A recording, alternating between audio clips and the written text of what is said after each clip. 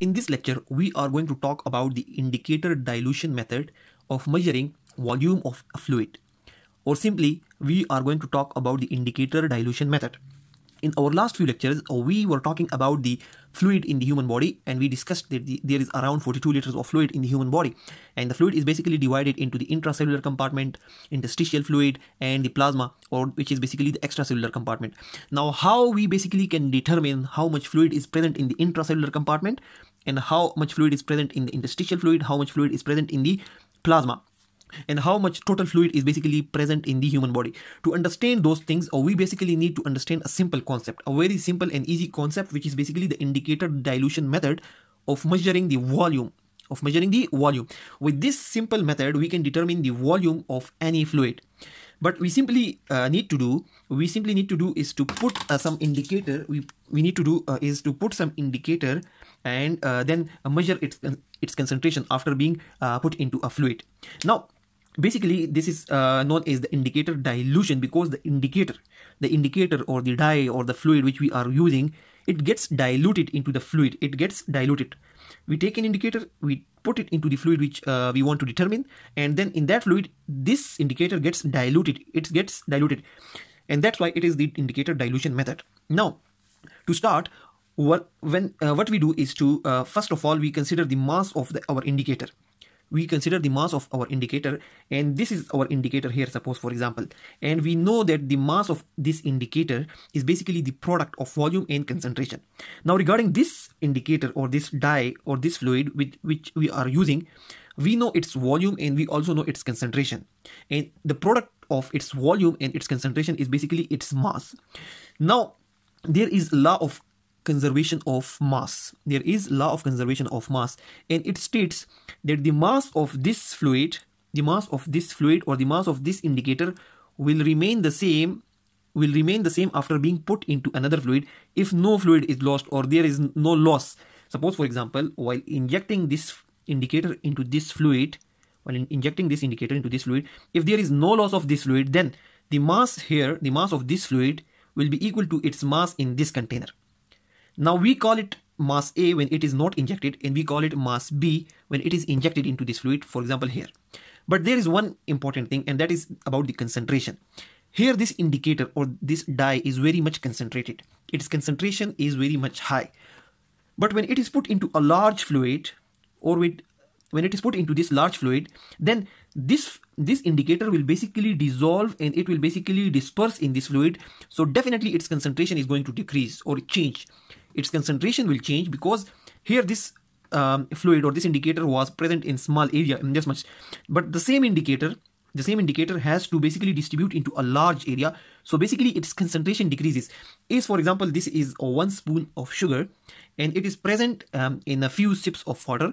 Then that uh, that water few sips of water for example in half the glass that will be very very sweet. But if we put that sweet water into uh, four or five glasses of water then that four or five glasses of water in a large container can container will not be that much sweet because the concentration will decrease. But but the amount of fluid remains the same and its mass before putting it into this container is equal to after putting it into this container. But that is a simple difference. That is a subtle difference which we have to differentiate because it is going to be helpful. So before starting the experiment the mass of this indicator is mass a and which is basically product of volume and concentration of this indicator. After being put into this large fluid it basically distributes and we call it as mass b here indicator mass b and we can say due to the law of conservation of mass that the mass indicator mass A is equal to indicator mass B because this is the same thing present here or here. Its mass remains the same. It if there is no loss if there is no loss of fluid if there is no loss of fluid its mass remains the same here and here. Its concentration changes. Its sweetness distributes for example. But its amount remains the same. So the indicator mass A is basically equal to indicator mass B and mass is always the product of volume into concentration. Now what we do that once this indicator has been put into this fluid now we want to determine the volume of this fluid we want to determine the volume of this fluid so when we put it here we can say that the indicator mass b is now equal to the volume b into the concentration b or the mass b is basically the product of volume B and concentration B. But try to remember that it is the same indicator. Only its concentration has changed. Only its concentration has changed because it has distributed over a large area or in a large fluid. Now, mathematically, we know that we can shuffle this equation, mass is basically equal to product of volume into concentration. Mass is equal to volume into concentration. So volume is basically mass by concentration. Volume is mass by concentration. This is basically the shuffling of this equation which is basically a mathematical rule that uh, once uh, you know two things we can uh, determine basically the third thing so we are basically more interested in its volume we are basically more interested in its volume. Now this uh, this fluid is now we are going to determine the volume of this fluid but its concentration has changed. The indicator present the indicator that we put in this fluid remains the same. Its volume remains the same. But we are more interested in the volume of this fluid. Because we know the volume of this fluid its mass remains the same. Its mass the amount in this fluid remains the same. But its concentration it basically disperses over large area. So we need its volume now or its large area we need its volume now so basically we need the volume for the volume this equation basically becomes mass by concentration mass by concentration from this equation here, from the law of conservation of mass, we know that the indicator B mass is basically equal to mass A. Mass B is equal to mass A. So we can also write mass A instead of mass uh, B. Mass B is equal to mass A. And here we have the mass B. Where here we have the mass B. So instead of mass B, we can write the mass A because they are equal. Mass A is equal to mass B due to the law of conservation of mass.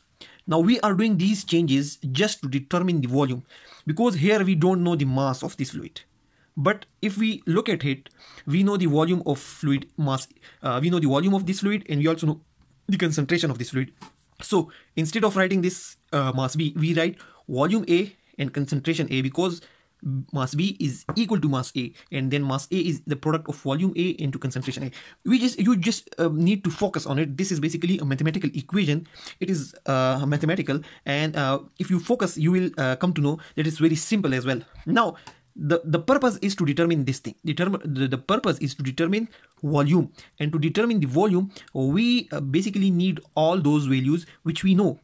Now we don't know the volume but we know the volume of this indicator we know the concentration of this indicator and we can basically determine the concentration of this um, fluid with some uh, a machine or through any way we can determine its concentration.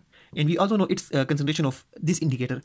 So when we determine its concentration and we also know the uh, the volume and we also know the concentration we put those values and we can determine the volume of this fluid.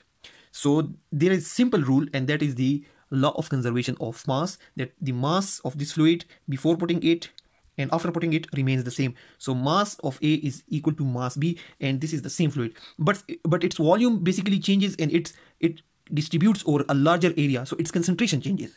Now we basically shuffle this experiment uh, sorry we shuffle this equation and we basically want to determine the volume b so to determine the volume B, we put uh, those values in this equation and we can determine the volume B. Now suppose for example, with this experiment, with these values, it will get clear that suppose for example, the amount or the volume of this fluid was 1 ml. We knew that the volume is 1 ml. So we put that value here. In this equation, we put that value 1 ml instead of volume A. Now we also knew the, con the concentration of this fluid and that was around 10 milligram per ml. So we put that concentration here in this, this equation 1 into 10 and after putting this indicator into this fluid its concentration became 0.01 now this 0.01 has been determined this has been determined through some machine or some uh, experiment something. Now this has been determined. And when we put that concentration in the equation we get the volume of fluid b. We get the volume of fluid b. So this experiment or this method simply means that we put an indicator and it gets diluted. So it is the indicator dilution method. And we, uh, we through law of conservation of mass uh, we uh, know that the, its mass before putting it and after putting it remains the same. If it is 1 ml it remains 1 ml before putting into this fluid and it remains 1 ml even after putting it into this fluid. But but its concentration changes. Its concentration initially was 10 milligram per ml. So the concentration of a was 10 milligram when it gets distributed over this large fluid, its concentration decreased to 0.01. That is the concentration of B. So we determine that concentration through some machine or some experiment or any lab method and then we when we put those values in this equation we can easily determine the the volume of this fluid that is basically the indicator dilution method for det determining the volume of any fluid. Now we are going to use this uh, method this indicator dilution method and we are going to discuss that how this method is basically used to determine the amount of fluid in the human body. Now that's all about the indicator dilution method. Thanks a lot for watching the video